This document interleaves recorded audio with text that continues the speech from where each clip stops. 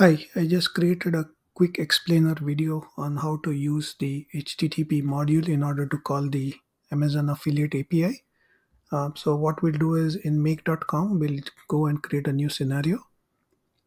Once we are in the new scenario, we'll select the HTTP module. And in that, we are going to select make a request.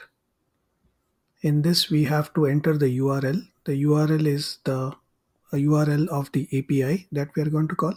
So what I'm showing right now is the search um, function. So we are going to call this um, URL. Um, there is a separate URL for the get items um, information. So right now we are going to use the search for this example. Uh, the method is going to be post um, in the headers, we need to add two headers. The first one is content type and its value is application JSON and the other is XAPI key. This is the key which will authenticate you against the API and whether if you are an authenticated user only then it allows you to connect to the API. So we'll put in the key there. Um, the next is the body type. That's the request that we are sending to the API so we'll select raw. Uh, in the type it would be JSON and it would look something like this.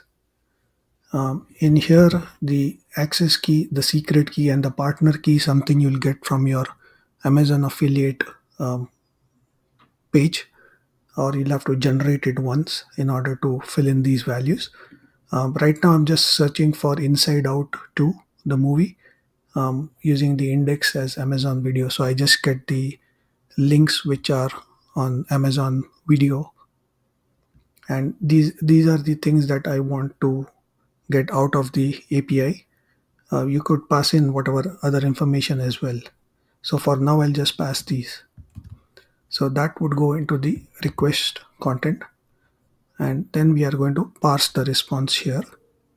And that's about it. So we'll click on ok.